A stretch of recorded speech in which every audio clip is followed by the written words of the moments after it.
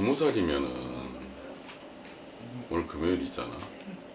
내일 주말이고 모레는 또 일요일이고 한참 놀러 다니고 그래야 되잖아. 한참 좋은 생각하고 맞아요. 친구들하고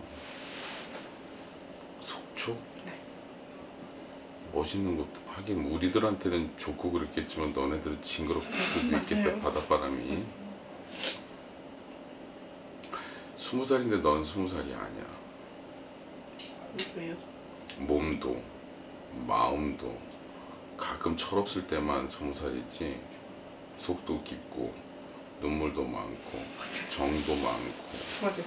하고 싶은 꿈도 많은데 그러니까 아침잠 더럽게 많지 너 맞아요. 밤에는 왜 못 자는 줄 알아? 이 생각 저 생각 잡생각에 술 생각에 남자 생각에 막 이것저것 생각이 너무 많아 이 얘기는 한편으로는 산만하다는 거야. 응? 너가 되게 사람들이 보면 너 친구들이나 사람들이 보면 너잘 웃으니까 굉장히 밝게 보거든. 안 그래. 삼촌 노래는 되게 아픔이 많아. 근데 네 나이는 이제 스무 살이야. 뭔 스무 살짜리가 이렇게 아픔이 많아? 왜 그럴까? 왜 그럴까? 모르겠어요. 우리가 생년월일 사주팔자라고 하지 그 여덟 자리에 거의 웬만한 게 다 있어. 팔자들이 들어있고. 또 가장 큰 거는 너 그냥 본명을 그냥 만순이 하긴 그러니까 영희 하자 영희. 네. 응? 네 본명을 여기다 얘기할 수는 없으니까 우리 영희 집안에도 보면은 네. 아버지도 그렇고 친가? 네. 아빠 쪽이 친가잖아. 엄마 쪽이 외가고. 두 쪽에서 굉장히 신의 그 기운이 강해. 신의 기운이 강한 집안이라는 건 풍파들이 굉장히 다 양쪽이 다 많다는 얘기거든. 거기에 너희 엄마 쪽에는 분명히 삼촌과 같은 사람이 있을 거고 너희 아빠 쪽으로 친가로는 스님이건 법사건 분명히 집안에 계시거든 그런 내력이 너도 안 계시지? 응. 아버지가 계시면은 돌아가신 거지? 네. 살아계시면 아버지 연세가 어떻게 돼? 69년 생. 아이고 삼촌보다 두 살밖에 안 많으신데 일찍도 가셨다 엄마는 그러면 엄마 몇 년생? 72년. 삼촌보다 한 살 어리고 그게 삼촌이 장가만 갔으면 너만한 저 아들이 있든 딸이 있든 너보다 크든 할 건데. 하긴 16년 전에 결혼하려다가 이렇게 됐으니까 결혼했으면 16살이겠다. 근데 신의 기운이 너무들 강해. 그러니까 아빠는 아빠대로 명을 다 못하고 엄마는 엄마대로 지금 50 되셨네 엄마. 삼촌보다 한 살 어리니까. 엄마 살림도 삶도 만만치가 않아 사는 게 만만치 않단 말이다 아까 좀 전에 본 친구는 살아가는 게 집안이 괜찮아 너희하고 많은 차이가 있어 어떻게 보면 너희 엄마가 3년 전부터 더더욱 많이 힘들어졌다 음, 너 대학 다닌다고? 지금? 네. 학교는 어느 쪽에 다니는 거야? 김포대. 여기? 너도 그럼 서, 저기 강원도에서 여기로 올라와 있는 거야? 네. 어, 아 이제 올라와야 돼. 너 대학 보내면서 엄마가 많이 휘청거린다. 금전적으로 왜냐면 이래저래 뭐 엄마 무슨 일해? 그 연락을 안 해요. 같이 하는 사람. 근데 대학 등록금 제가 냈는데. 네가 벌어서? 네. 제가 냈어. 그래서 아까 삼촌이 했던 얘기 그건가 봐. 스무 살인데 응. 스무 살이 아니라고. 거기 살 거 아니야 엄마도. 맞아. 강원도에. 아, 엄마는 딴데 여주 이천 쪽. 미안한데 자꾸 엄마는 욕이 나오려 그래. 욕하셔도 돼요. 미안하다. 욕하셔도 돼요. 좀 아내 노릇도 못했지만 아내 노릇은 진작에 니네 아빠 돌아가기 전부터 못했을 거야. 엄마처럼 살지 마. 몸 소중히 하게 관리하고 마음 함부로 주지 말고 알았어? 니도 모르게 엄마를 욕하고 엄마를 싫어하면서 너도 모르게 너도 그러고 있잖아. 조그만 게 씨. 외로움이라는 게 제일 무서운 적이야 너한테는 평생 네. 살아가면서 말 조금 들어준다고 생각 조금 맞는다고 그래서 너를 쉽게 허락하지 말라는 뜻이야 이? 아주 귀하게 다른 말 오늘 듣지 말고 한마디만 삼촌 말 귀에 넣고 가 영이라고 했지 너를 영이 너를 네 스스로가 명품이라고 생각하면 넌 명품이야 근데 네가 지금 하고 있는 거는 이미테이션도 아니고 진짜 싸구려 있지. 네 스스로 네가 그렇게 네 자신을 대하고 있다고. 알겠니? 세상에 풀 한 포기도 잡초 하나도 이유 없이 여기에 존재하지 않아. 하물며 만물의 영장이라는 사람이야. 거기다 스무 살 꽃다운 아가씨가 요 나이에 생각 맞게 생각해.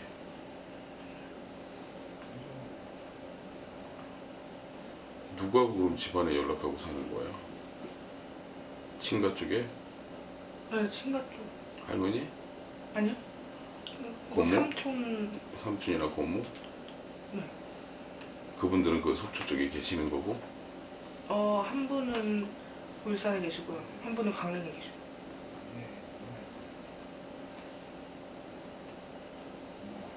신바람이라고 하지 신기가 굉장히 강하다.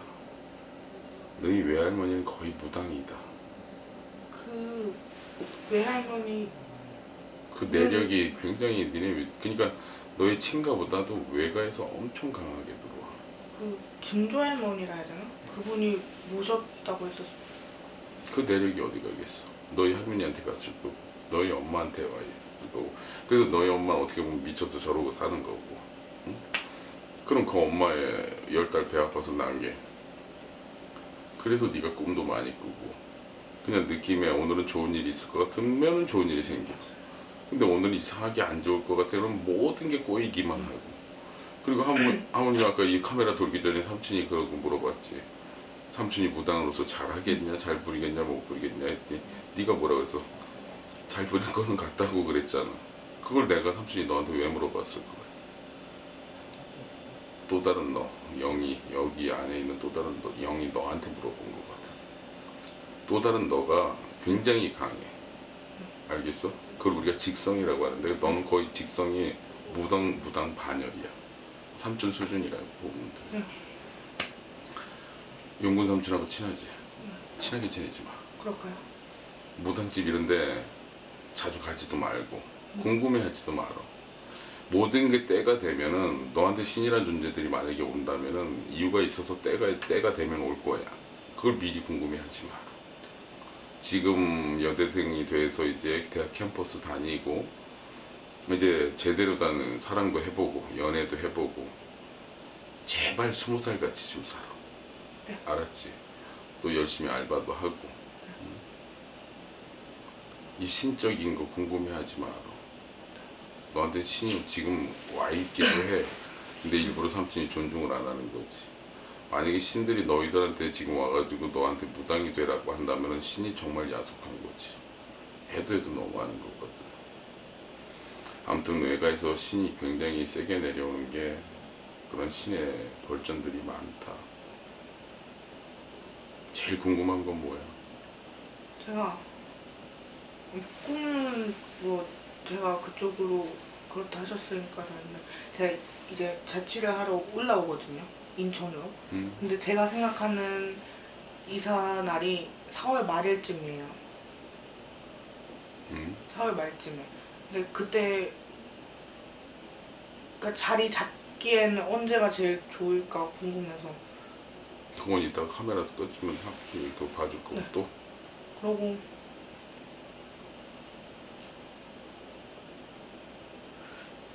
그리고 저희 제가 막내거든요. 첫째 오빠, 둘째 언니 이렇게 있는데 응. 삼남매? 근데 둘 다 이혼을 했어요. 응. 얼마 안 돼서. 응. 근데 그 둘이 좀 어떻게 하면 좀 잘 살까 싶어가지고 아유 근데 그게 스무 살 먹은 막내인 네가 와서 그걸 궁금해하고 어떻게 그게 그첫 번째는 엄마가 물어봐야 되는 거고 두 번째는 그 오빠랑 언니들이 당사자들이 물어봐야 되는 건데 가장 큰 거는 신의 바람이라는 거지. 신의 기운들이 유독 강해. 이렇게 삼촌이 물을게요. 옛날엔 그래도 너네 다섯 식구가 엄마 아빠 너희 형제 삼남매에서 같이 살았던 적이 있잖아. 네. 그때도 니네 가만 생각해봐. 유년 시절을. 청소년 시절하고 뭐 청소년이 얼마 아니었으니까? 너희들은 웃음보다는 싸움과 소리가 많아. 맞아요. 그러면 봐라. 가진 집에 보면은 딸 둘이 아들 하나 엄마 아빠. 굉장히 단란하고 오손도 재미나게 살고 행복하게 살 수 있는 집안이거든. 근데 안 그랬단 말이야. 아빠는 아빠대로 소리 질러야 되고 엄마는 엄마대로 또 대들어야 되고 대들다 못해 엄마는 또 밖으로 튕겨 나가야 되는 거고 하다못해 너도 오빠랑 언니랑 마음들은 안 그러지만 언니 하는 게 짜증나고 오빠 입장에서 도 여동생들이 하는 게 짜증나고 싸우고 때리고 욕하고 일반 가정집들하고 틀리단 말이지. 그게 얘기했잖아. 또 다른 너. 그 기운이 무당반연일이라고 그랬지. 삼촌 사이즈라고 네가. 근데 오빠도 마찬가지고 언니도 마찬가지고 아빠, 엄마도 마찬가지라는 거야. 제각기 신싸움이라고 해. 우리들 동물들도 동물들도 개들도 보면 서열 싸움 하잖아. 집에서는 우리 사람들은 아빠, 엄마, 오빠, 언니, 너 이렇게 서열이 어떻게 보면 정해져 있잖아. 근데 이 서열이라는 게 무너진다고. 또 다른 나, 또 다른 오빠의 나, 또 다른 언니의 나, 또 다른 아빠의 나, 엄마의 세- 직성들. 그래서 싸우는 거야. 다투는 거야. 그럼 이게 왜 있냐? 신바람, 신바람, 신싸움. 이걸 찍으면서 나부터 이거 돌려놨어야 되는데 쏘 소리. 그런 게 강해서 그러는 거야. 그래서 다른 집들은 막 오손도손 가족끼리 뭐 저녁을 먹었네, 어디도 여행을 가네.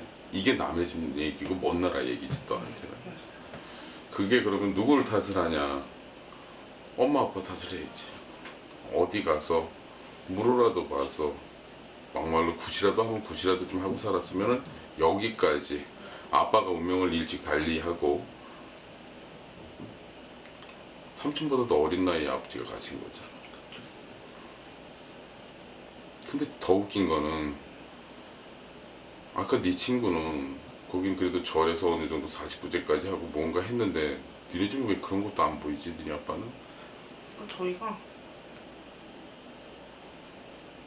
이제 저는 그때는 어렸으니까 이제 그런 걸 챙겨야 챙겨야 되나 이런 생각이 없었고 낙골당에 계시거든요.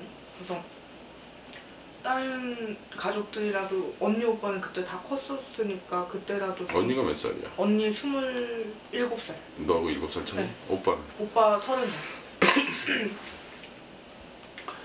벌써들 결혼했다가 이혼들 됐단 말이야. 그 나이가.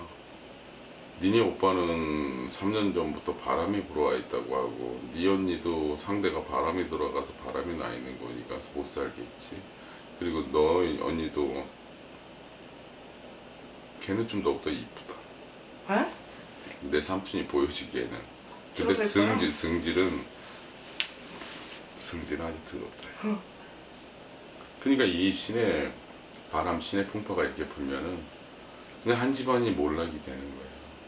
그러면 왜 신들이 그런 데 가서 건드릴까? 신들 나름대로는 너희들을 살게 해주겠다고 누가 하나 잘 되게 해준다고 오신 거거든. 근데 그 신들이 그럼 누구냐? 조상님들이거든. 근데 너희들이 거역하고 사는 거지. 너희 어머니 아버지부터 너희 형제들이. 그다 보니까 일종의 회방 놓고 벌을 주시는 거지. 무섭게는 너희 아빠한테는 목숨으로 물었던 거고 너희 엄마한테는 한 집안의 아내이자 엄마이자 이걸 포기하게 만들고 어떻게 보면 미안해. 거의 미친년 같이. 그렇게 엄마도 그렇게 밖으로 그렇게 끌고 다니면서 돌리는 거고. 거기에다가 오빠 나름대로 열심히 살아보려고 했을 거고. 언니도 열심히 가정 이뤄서 왜냐면 지긋지긋하니까. 언니 같은 경우는 도피처였을 거야 아마 그 결혼이. 네. 오빠 같은 경우에는 자기 눈에 들어서 데리고 살았겠지만 그러니까 이렇게 가정이 싫어서 뛰쳐나가서 산 선택한 삶들이 또 제대로 이- 살지 못하고 또 아픔들이 생기고 또 그 거기서 또 네 오빠나 네 언니처럼 또 그렇게 유년 시절 아기 때부터 커왔는데 오빠는 모르긴 뭐라도 자, 자식 있지 않아 걔? 네. 지가 커왔던 거 지 새끼한테 물려주는 대, 대물림이 됐잖아 그렇잖아 평탄하고 행복한 가정 엄마 아빠 사이에서 그 아이가 또 조카가 뭐 그렇게 못못 살 거 아니야. 이게 끊임없는 대물림. 이게 신의 벌이고 신의 벌전이고 신바람이야 그걸 네가 스무 살짜리가 나한테 와서 고민을 하고 걱정을 하는 거야. 엄마 걱정은 안 하지만 오빠랑 언니. 응? 그러면 여기서 오빠랑 언니는 그래 한 번씩 너보다 일곱 살이고 열 살이고 많으니까 너보다 인생을 빨리 살았다고 치고. 너 삼촌은 네 언니나 오빠가 그 궁금하고 걱정되는 게 아니라 삼촌은 네가 지금 걱정되거든 제발 스무 살답게 살아 응? 언니가 학비 도와주고 오빠가 학비 도와주고 누가 학비 도와주는 거 아니고 네가 벌어서 네가 하겠지만 잊지 마라 돈 벌기 위해서 정말 소중한 네 몸을 갖다가 함부로 그 혹사시키고 그러지 마라 알겠지? 삼촌이 이렇게 표현하는 데는 마땅하게 좋은 단어가 생각이 안 나서 당황스러워서 그래. 알겠지? 명품이야 영희는. 명품. 네가 명품으로 생각하고 네가 그렇게 네모 나는 명, 영희 나 영이라는 사람 김영이라는 사람은 명품이다. 네가 매일같이 주문 걸고 살아. 그럼 명품이 되는 거고 남들이 너를 명품으로 대해줄 거야 알겠어? 그말 하나만 잊지 말고. 네. 알았지? 그리고 신의 바람이라는 거는 글쎄다. 너희 오빠나 너희 언니가 삼촌 같은 데라도 가서 물어보고 상담 좀 하고 뭐 제라 조상한테 제라도 좀 올렸으면 좋겠다. 니한테 할 얘기는 아니다 술 같은 거 먹지 말고 이유는 딱 하나 또 다른 존재 힘이 세게 커져. 네 안에 어, 네 안에 또 다른 존재들도 있단 말이야. 그 존재들이 신이라고도 해. 근데 또 내가 봤을 땐 신 사이즈는 아니고 잡기 잡지는 또 아니야. 그렇다고 니네 아빠는 아닌 것 같아. 아무튼 그 존재들이 너를 갖다 갖고 논단 말이야. 네가 술이 먹- 먹다 보면. 네가 술을 먹었을 때는 이성이 약해지는 거야. 그랬을 때는 네 몸에 와 있는 것들이 너 가끔 그런 생각 안 해? 너 혼자 벽에 벽 보고도 네 혼자 중얼중얼거릴 때 있잖아. 괜히 그러는 거 아니야. 네 안에 또 다른 존재가 그렇게 너한테 중얼중얼거리게 하는 거야. 알겠어? 신도 있지만 아닌 존재도 있단 말이야 너한테는. 그래서 무당집도 가지 말라는 거야. 계속 듣다 보면은 네가 계속 열릴 거고 계속 유튜브 보다 보면 계속 삼촌 같은 사람들이 눈에 들어올 거고 잠 안 올 때마다 매일 그냥 이것저것 다 찾아볼 거고 멀리 알겠어? 언젠가 정말 때가 돼서 우리 영희가 삼촌과 같은 이 길을 혹여라도 간다면은 그건 아직 때가 아직 시간이 멀었다는 거. 지금은 그냥 딱 스무 살. 명품 나는 오늘 명품 김영이라는 스무 살 아가씨를 점을 봐준 거야. 정말 명품이야. 명품이 될 거 고그될 명품 가능성이 있어서 명품 같이 하라는 거야. 네. 이미테이션이 명품 되라는 게 아니란 말이야. 알겠지? 이미테이션은 끝까지 이미테이션이야. 근데 명품은 썩어도 준치라는 말이 있지. 낡아도 명품인 거야. 꼭 그렇게 하고 살아. 꿈 같은 거 많이 꾸고 이해 안 가고 그러면은 삼촌한테 전화해서 물어봐. 해몽 같은 거 해줄게. 꿈도 이유가 있기 때문에 꾸는 거거든. 근데 사람들이 꿈보다는 해몽이란 말이 있듯이 해몽 해석이 안 돼서 그러는 거거든 그럴 땐 삼촌한테 응원해 삼촌이 알려줄게 아니 그거 이거 하나 제가 좀 학생 때 주변에 이제 먼저 죽은 친구들이 많아요. 음. 뭐 또래도 그렇고 더 선배도 그렇고 근데 한 번씩 이제 자, 그러니까 제가 원래 불면증이 좀 심해서 잠을 잘 못 잤는데 어쩌다 한 번 되게 푹 자는 날이 있단 말이에요. 저도 모르게. 근데 그때마다 꿈에 나와서 제 주변 사람들을 건드려요. 근데 막 그 건드는 방식이 막 그냥 대놓고 막 해를 가는 게 아니라 그 친구가 아프다거나 아니면 뭐 교통사고가 난다거나. 근데 그런 식으로 괴롭히는데 그거를 실제에서 깨고 나서 기분이 찝찝하니까 제가 혹시나 해서 꿈에서 이런 내용 나왔다고. 니뭐 오늘은 뭐 그렇게 하지 말라고 그냥 집에만 있으라고 뭐 이런 식으로 장난식으로 말한단 말이에요. 근데 꼭 나가요. 왜냐면 그런 일을 당할 거니까. 그 근데 꼭 그렇게 돼요 그렇지. 얘기했잖아. 삼촌의 신에 준하는 능력이 강하다고. 저, 저 무시하고 있어야 돼 계속 무시할 필요는 없고 크게 존중은 하지 말어. 그리고 그렇게 암시해 주는 거 그런 거 있으면 그렇게 알려줘. 알려주고 그 정도만 해. 때가 되고 이유가 되고. 근데 난 네가 안- 이 길을 이 길을 안 갔으면 좋겠어. 이유는 하나. 가더라도 네 언니. 지금 아마 신적인 게 굉장히 바람이 너보다 더 강하게 불어왔을 거야. 아마 그러고 있을 거고. 언니는 어디 살아? 근데 원주에 가끔 전화를 하고 언니랑 네, 차차. 가끔 연락해 아마 신의 풍파가 굉장히 세게 왔을 거야 언니. 너보다 더 강해. 아마 그런 이유 저런 이유 때문에 아마 언니가 결혼 생활을 못했을 거야. 즐겨. 그렇게 예지몽으로 오는 거. 아 나는 좀 특별하구나. 그렇기 때문에 네가 명품인 거야. 명품이 흔해 빠진 건 아니잖아. 그치?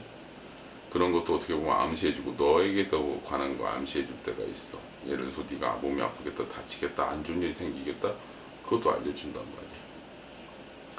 그리고 네 눈을 하나만 부탁을 하자. 남자 보는 눈은 절대로 네 눈에 보이는 그림 그대로 그걸 믿지 마라. 높일까요? 한참 높여야 돼. 넌 네 남자친구나 그런 거 네 남자라고 생각해 보는 눈이 정말 싸구려도 그런 싸구려가 없어. 남들 거는 남들 제가 예를 들어 네 친구가 쟤 어때 이러고 어 괜찮아 뭐 어쩌고 저쩌고 네가 그러는데 잘 봐줘. 맞아요 네 거를 못 말이야. 맞아요 그러니까 남자를 갖다가 제발 외모 보지 말고 그리고 그 남자는 간단해 김밥집이 됐건 뭐 분식집에 가서 나오면 네 입에 먼저 넣어주는 사람을 만나 지 입에 먼저 넣는 사람을 만나지 말고 알았지? 먹는다는 건 뭐야 우리가 삶을 그 삶하고 바로 직격탄이잖아 그 먹을 걸 갖다가 네 입에 먼저 놔주는 넣어주는 사람은 외모를 떠나서 따뜻한 사람이야. 넌 따뜻한 사람이 필요해. 알겠지? 네. 잊지 마라. 네. 스무 살때 그렇게 살고 네. 명품 같이 살아. 네. 명품이라 대우하고. 삼촌은 되게 속상하거든 지금 실은 이렇게 네. 얘기하면서 왜 이렇게 스무 살짜리 꽃다운 나이가 왜 이렇게 40대 30대 여자들보다 더 험하게 사는지 삼촌은 사실 그게 좀 속상해. 그 너를 누가 이렇게 만들었을까?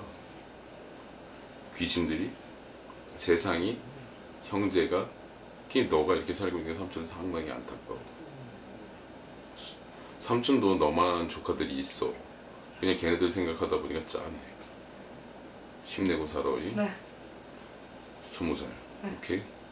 가자.